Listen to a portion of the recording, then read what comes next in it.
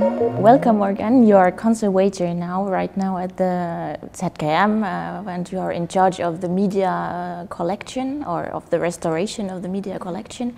Why did you choose Centerbeam as a, as a field of research or why Centerbeam, in your point of view as a, as a conservator, is such a groundbreaking installation?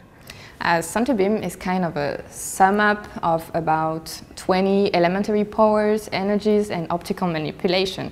It is essentially an energy beam and uh, it is furthermore a combinative artwork. It is more than just a collaboration.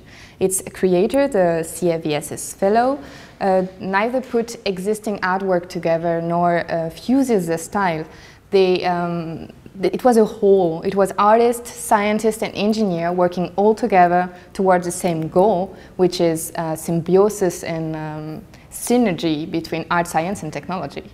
And both the social and physical structure conceived by Lowry Burgess made it a unique witness of, of this um, innovative ecosystem that was at MIT CAVS at that time. In the Centerbeam exhibition, you are developing three scenarios of possible uh, reconstruction. Could you please sum them up? Yeah, the reconstruction has always been one of the most controversial issues in the field of conservation and restoration.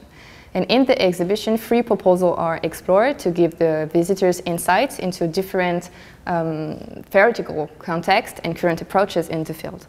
So the first proposal is um, utilizes media archaeology as a means to reappropriate the knowledge and memories of CAVS's extraordinary machines. And the second proposal's core concept is, based on critical making and retroengineering to find alternative design, the closest to the initial look and feel of Centerbeam, but with new technologies. And the last proposal seeks to restore not only the physical bones of Centerbeam, but also the spirit in which it was made, with uh, involving new students, new artists working together with the older uh, CAVS fellows. Uh, none of this reconstruction proposal has been chosen yet, but already this uh, experimental research has become a new way to restore, the, to reconstruct even, the CAVS's uh, vision to create bridge between art, science and technology.